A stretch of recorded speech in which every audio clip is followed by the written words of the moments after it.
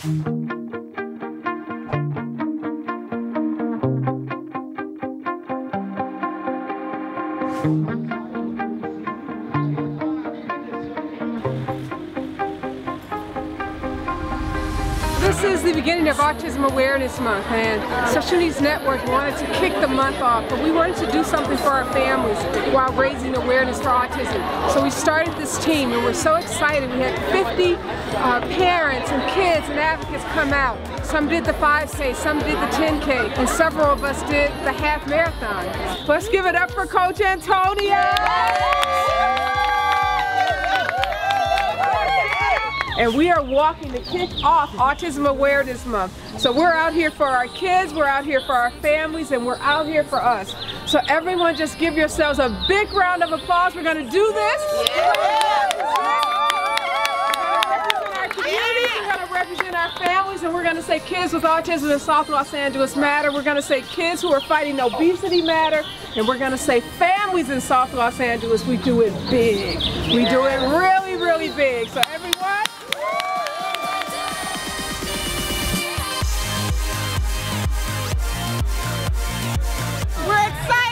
training for three months. This is first year out here running autism. Have 50 members of our team, families and kids. This is a good day for Special Needs Network. Runners, set.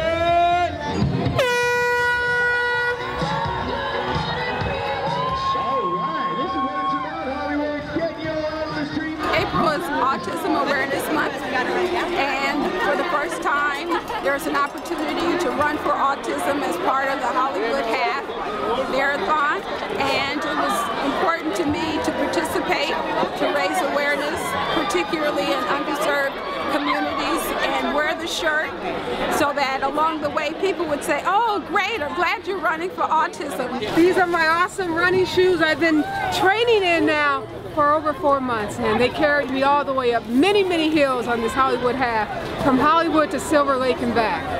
We wore these purple t-shirts and along the, the course people stopped us and says, oh, you're running for autism. So we accomplished what we wanted to, which was to let people know that this is Autism Awareness Month and to make them aware that families all over the city are acknowledging that month and we're acknowledging it by being a part of this half marathon. You know, I wanted to start exercising and I thought, let me do it for a cause.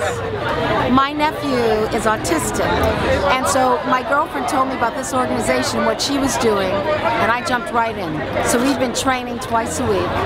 We've been training since January, twice a week, uh, and on Saturdays to prepare for this. It was the best experience. Uh, we, were dedicated. I got to give it to my girls. I'm so proud of them for coming out and uh, supporting the cause and supporting each other, and, and it's the best experience I've had. I am a parent of a special needs son. Uh, he's an adult.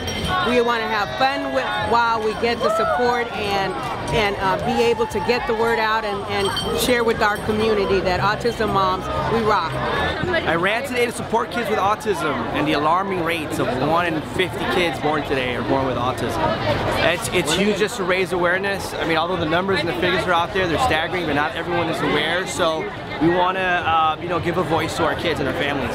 From a community perspective, Autism Awareness Month is so important because there's so many families that are in need of either, you know, nutritional factors, um, educational factors, just resources, just so that families can can maneuver and be uh, able to exist in, in society and culture.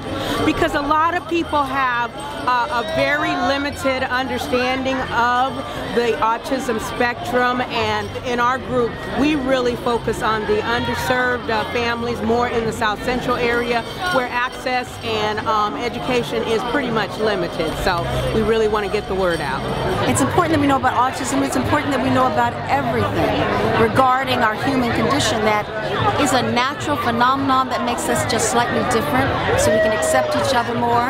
It's imperative that everyone, school teachers, medical professionals, uh, you know, lay people, everyone know someone, probably knows someone that has autism. And we want them to know that Special Needs Network is, is on the, the ground, working every day in communities across this county, trying to provide services and access to families. We want families to know they're not alone. And that's what we did today uh, on this run. You know, we got folks all charged and got them fit while raising awareness.